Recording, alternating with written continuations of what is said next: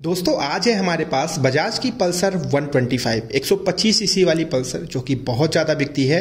और 2024 में आपको शुरू में ये खुशखबरी मैं बता दूँ, वो ये है कि इसकी कीमत में कंपनी ने थोड़ी सी कटौती करी है। अभी ये नई एक शोरूम प्राइस और नई ऑन रोड प्राइस के साथ आपको मिलेगी। पहले से कीमत घट चुकी है। मैं आपको सारी चीज़ डिटेल में बताऊँगा। सबसे पहले आपको ये बता दूँ कि कार्बन फाइबर एडिशन, एक वेरियंट जो आप स्क्रीन पर इस समय देख रहे हैं, और इससे भी सस्ती पल्सर एक सीसी चाहिए तो आप नियॉन एडिशन के साथ जा सकते हैं, जिसमें आपको फ्यूल काउल या फिर नीचे इंजन काउल, ये सारी चीज़ें नहीं मिलेगी ग्राफिक स्टिकर वगैरह चेंज हो जाएगा उसमें, ठीक है? वो नीट एंड क्लीन लगती है और इसमें थोड़ा सा स्पोर्टी अपील करती है ये वाली, ठीक है? कार्बन फाइबर वाली। तो ये थोड़ी सी महँगी पड़ती है नियोन एडिशन से। तो आप इस चीज़ का ध्यान रखें। आप कितने की पड़ेगी मैं आपको बता दे रहा हूँ, उससे पहले थोड़ी सी चीज़ जान लीजिए। इंजन में कोई भी तब्दीली, कोई भी परिवर्तन नहीं हुआ है।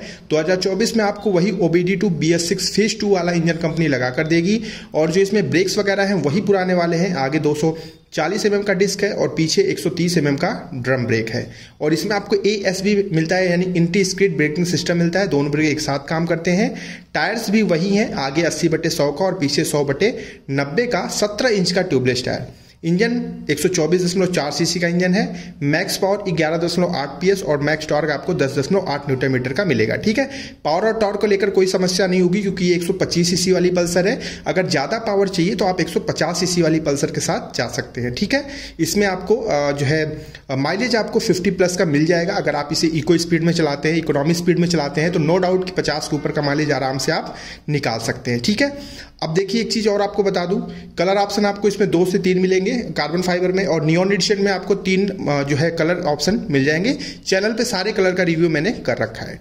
चलिए, अब मैं आपको कीमत बता देता हूँ, नई कीमत क्या है? ध्यान से सुनिएगा। इसकी इस समय जो कीमत चल रही है पहले थी उत्तर प्रदेश में नब्बे हज़ार रुपए एक्सोरूम प्राइस जो कि अब घटकर अट्ठासी हज़ार रुपए एक्सोरूम प्राइस हो गई है एट्टी एट थाउज़ेंड ठीक है? और ये ऑन रोड आपको मिलेगी एक लाख पाँच हज़ार से लेकर एक लाख दस हज़ार के बीच में ये कंप्लीट ऑन रोड आपको मिल जाएगी। ठीक है?